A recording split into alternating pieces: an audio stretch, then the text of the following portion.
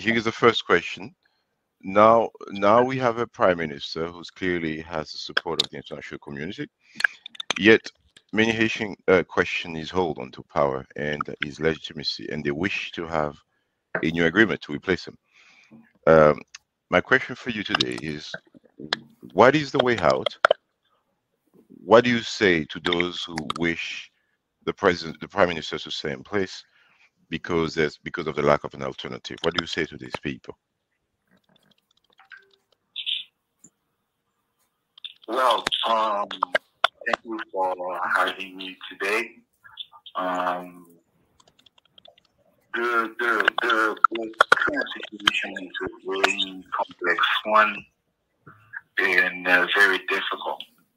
Uh, the current prime minister is involved in the killing of the 58th president of the country, uh, Mr. Jovenel Moise, and he was pushed to power um, by members of the international community who have been uh, behind him for the last uh, eight months. Um, during uh, that time, uh, he was involved in 16 different obstruction of justice. Um, due to his current status um, with the judicial system and his behavior for the past um, eight months, um, the current prime minister cannot uh, organize free and fair in the country or re-establish security. Um, if you look at the second paragraph of the designation letter um, of the special envoy of the United States, Ambassador Daniel Foote, uh, it states clearly that the current prime minister is involved in the managing of the things that are being had of the security in country. So the, the, real question is how to move forward. What's next? Uh, there are um, some of the police involved also in the killing of the president who came up with several arguments, and those arguments um, um, called Montana Plan and some others are not either uh, the solution. Um, the proposed Montana agreement is, is, is an attempted coup by Lavalas put forward the former head of the central bank, Future. This guy was involved in the stealing, in the stealing of 93%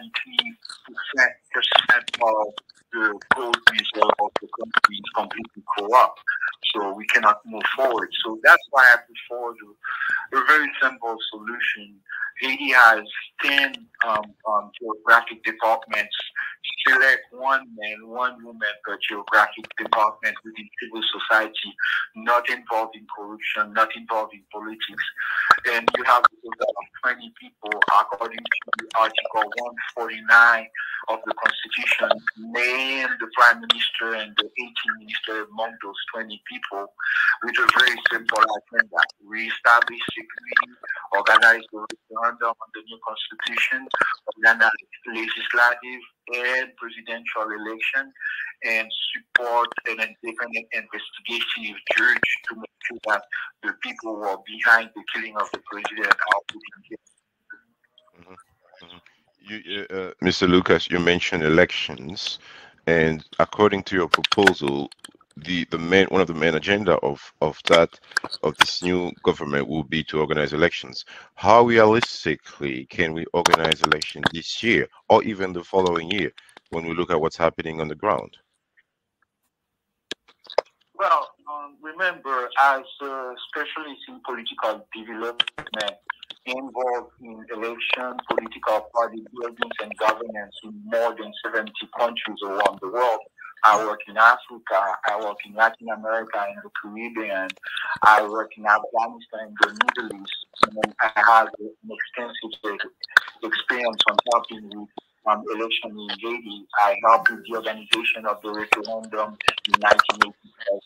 I, I helped with the organization of the election in December 1990. Um, the, the two round elections in June 95, um, the presidential election in 96 uh, uh, the local and legislative elections, and so on. I uh, I wrote um, more than 38 uh, pre and post electoral reports um, on Haiti. Mm-hmm and I testify in Congress on the issue. Um, you can reestablish security in two months with the support of Brazil and Mexico and mm-hmm. organize the election, return the country to constitutional order in mm-hmm. less than six months. It's possible. Um, that has been done before. Remember, in 2006, we had the same situation where the, uh, the James sponsored by President Aristide conducted Operation Baghdad 1 that killed um, 142 police officers, almost 2,000 people, um, raped more than 800 women. Operation mm-hmm. Baghdad 2 with the James as well in Pakistan the same thing. Oh. With the support of Brazil, the police was able to re-establish security in less than 60 in the current situation. 95 percent of the country is secure. Um, the most the, the, the problem area is the metropolitan area of the prince, meaning Cité Soleil, Martissant, Village de Dieu, and Delmas Security can be reestablished in less than seven weeks. Mm-hmm. So you're saying you're comparing the situation back then to the situation now, and you're thinking that based on that track record, we're going to be able to establish security within less than half a year and conduct proper elections. Am I understanding that right? With the help of Brazil and uh, and uh, what's the other country again? Mexico. And Mexico. And am I understanding that right? Mm-hmm. Yes. Uh, remember, we have a pretty good picture of um, who are behind the gang. Um, there are five or six oligarchs of Pétionville um, the current prime minister and probably three or four other political leaders. Um, mm-hmm. And uh, um, the gangs, I think there is a pretty good picture um, are behind those gangs, and, and, and it's a matter of capability. And I think the Haitian National Police, with the support of the Brazilian and the Mexican force, can get rid of those gangs in less than seven weeks. Okay, okay. Uh, we understand the people have heard. We'll have to forward the, the fund for that. Uh, in my evaluation, something like that will cost one hundred million dollars. Okay. And why do you think the international community isn't jumping onto that plan? What's keeping him from? Because if it sounds so good and it does sound good to us, why aren't they jumping on? Well, Haiti is not a priority right now. Uh, Eastern Europe with what happened in Ukraine, um, the mm-hmm. threat in Poland, Romania, Latvia, Estonia, um, the move China might make towards Taiwan. Those are the priorities of the world. Haiti is not a mm-hmm. Yeah, so that's yeah, why I think um, if we have a legitimate government um, through bilateral relations, we can directly talk to the Brazilians and can um, to get the support needed um, for the police and we establish security in less than seven weeks and election mm-hmm. can be organized in less than six months, six to 7 mm-hmm. months. And by the mm-hmm. end of seven months, you will have the 50 um, first legislature in place and the 59 president and um, putting together um, constitutional order. Um, mm-hmm. It's seven months, no more than that. Mm-hmm. Uh, Mr. Lucas, we're going to jump on a different topic, still Haiti. We're going to talk about President Jovenel. As you know, he was brutally assassinated, and and and, and some people doubt that Mr. Jovenel will ever find uh, justice, that Haiti will ever find justice. Uh, can you tell us a little bit about the state of, in the, of, of the investigation and the state of, of finding justice for Jovenel basically with the support of the head of the UN, uh, the international community put um, in government the people behind the killing of the president.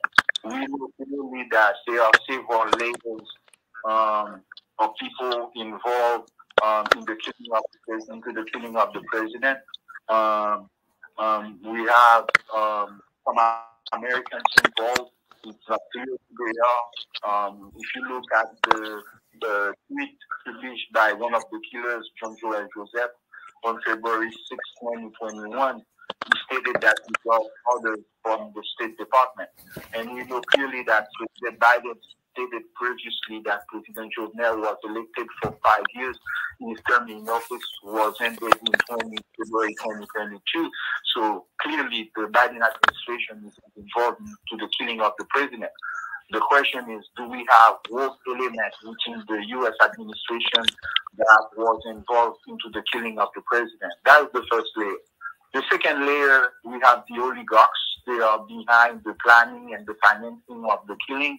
The names coming out for that are uh, Reginald Boulos, Dimitri Vorbe, Jean-Marie Vorbe, Pasha Vorbe, Andal, and Roger um, we have another layer, which is uh, the Colombian mercenaries contracted by the company CTU from Florida.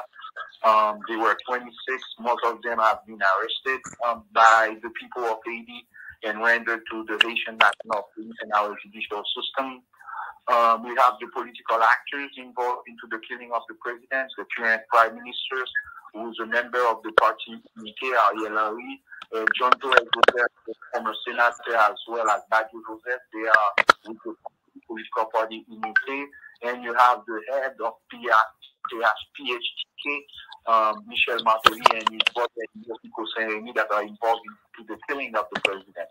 So we know that there are several layers. Most of the men involved into the killing are known. Since the oligarchs and the killers are in power, um, for the past eight months, despite the total control they have of the three branches of government, they were not able to stop on the advancement of the investigation. They mm-hmm. did um, 16 to 17 obstruction of justice, um, trying to manipulate the judicial system. Don't forget that the judicial branch is also involved into the killing of the president. Um, the two Supreme Judge courts uh, directly are involved into the killing of the president, Michael Gabriel and Wendell Fox. And you have complicity within the uh, Cour d'appel and Tribunal de Première Instance uh, manipulated by the current Minister of Justice, who is uh, appointed by the oligarch and Ariel. Uh, the current Minister of Justice was in jail. Um, he did six months in jail for drug dealing, uh, uh, drug trafficking. So all these people, I can say, the coalition um, that you have in power right now trying to prevent justice a coalition of murderers involved in the killing of the president, kidnapping, and some other stuff. So um, um, I think the, the issue is moving forward um, despite despite all the obstruction. Um, we think that there is a serious church who could manage serious investigative investigative judge who could manage the issue. His name is mm-hmm. uh, uh, uh, Mathieu Chanlatte. Remember when he was appointed back in July, the only guy Henry to intimidate him, um, they they uh, they killed one of the assistants. Um, that's why it was kind of the international community is serious about supporting justice in Haiti. They should ensure that Mathieu Chanlatte is appointed and ensure his security so we can put all those people in jail and ensuring first that any future president of Haiti will not be killed for the same reason that President Jovenel Moïse was killed. Remember, he was killed for 10 economic reasons and two political reasons. He was conducting some reforms. Um, the oligarchs, uh, the core of oligarchs did not like the reform because they could steal anymore from the state. That's why they killing for the 10 um, various reforms in the oil importation area, electricity, um, um, roads, um, um, build, uh, building roads, and, and, other issues like customs where they were stealing, and in the central bank, uh, uh, in the central bank as well. So these reforms um, took away um, 45 billion dollars that the oligarch used to steal from the state. And for those economic reasons, he was killed by the oligarch and their foreign associates. And there are also two political reasons. He was fighting um, to ensure that the election took place and the referendum um, um, past September, and as well as he was fighting against systemic racism. Um, as you know, for the past 30 years, the three branches of power, the three branches of government in Haiti was captured by the oligarchs, and he, was trying to ensure that the institutions went back to the people, and he, he was killed for this political reason. So you're saying that basically with all these people that are involved, uh, are you saying that it it might we still gonna juvenile still gonna be we're still gonna be able to find justice for Jovenel? How are we gonna how we gonna overcome the power, the political power or the political will of the prime minister, for example, who you said yourself is involved in in, in the crime? Well, how are we gonna bypass that? The, according to the killer's plan, they should have put away the investigation ten days um, after the killing of the president because you have this collective refusal of the crime. Um, if you read um, the book uh, Management of Violence, written by the French general who used to work for the UN, Loup Francart, he stated in his book, he says, when you have a collective refusal of a crime like that in the country for such a long time, it's almost eight months, the next step is uh, uh, the people are going to the people are going to take the street at some point, and, and that will be bad. I think, despite all the, efforts to, to block justice, we have made some tremendous progress for the past eight months. Um, the, the killers are in power and they are not able to um, get rid of the issue on, on top of the wave. So, so I think a testimony of the resistance of the Haitian people, um, their commitment to justice. Um, at some point, I think something is coming, and the, government, the current government will have to go. And and the best thing that can happen is to ensure a, a good transition with some clean people, um, honest people who can return the country to constitutional order and support the investigation um, of Chanlatte if he's appointed. But at the same time, I know the, FBI is investigating um, into the killing of the president. At the same time, the United States in in in in the situation is at the same time a church and part of and somehow implicated into the killing because of the statement made by Senator John Joel Joseph and because the killers used the name of one the U.S the name of a U.S. institution, the DEA, to conduct the operation to kill the president. So um, I think aviation is looking um, positively to the FBI investigation, but they also remember the famous sentence of President Ronald Reagan, first but very verified. Because you know the process within the DOJ, the Department of Justice of the United States, you might have a, a very comprehensive report from the FBI, from the FBI. The, the FBI has to submit the report to the Department of Justice, and there is a process there, and you don't know if all the components of the report will be published because if you go back in 1995, the FBI did an investigation in into, into the killing of the lawyer Mireille Durocher Bertin, and they clearly identify all the killers that at that time it was not in the national interest of the United States. The report was not. So um, you don't know what will happen even if the FBI concludes its report. That's why I am very supportive of national investigation, and I am one of the person I think it would be good for the country to appoint Juge Mathieu Chanlatte, Judge Mathieu Chanlatte, is very capable, and um, he could wrap up his report in less than four months. Mm-hmm. Mr. Mr. Mr. Mr. Lucas, we're gonna end that section with one last question, and then we're gonna pass on to uh, the next question to I believe it's uh, Donald uh, Donnell. Uh, Haiti has been dealing now with armed gangs in the streets of Port-au-Prince. Huh? The previous administrations have failed to bring peace. The current administration seems on the way to do the same thing. What do you think the problem is? Is it a lack of moral volition and a lack of moral uh, of political will? Is it the police force that is inadequate, or do we need to readjust our politics here? What do you say to that? Well, the first thing I would say, there is a double standard within the international community dealing with Haiti. Um, it's something we need to analyze. Um, I think if you look at the recent tweet of journalist Cyrus Sibert, um, it's worth looking at it. Um, the person who are not talking, if you could put uh, your phone on mute, that would be very useful. Thank you. Um, um, um, I think when you look, when you talk about insecurity in Haiti, we need to go back to the roots. Um, mm-hmm. Insecurity started in '95 when President Aristide dissolved the army.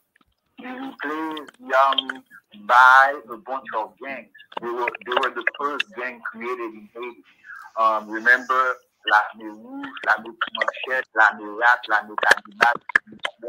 It's where it started. And when Aristide had some problem in 2004, um, the oligarchs of Pétionville, uh, Reginald Boulos, Dimitri Vorbe, um, uh, they took control of those gangs. Since then, the gangs are under the control of the oligarchs and some the parliamentarians involved to drug trafficking, gangs, and money laundering. So, um, um, um, to do to do uh, uh, an evaluation and assessment of, of who who are the actors behind the gangs, it's, it's, it's an easy process.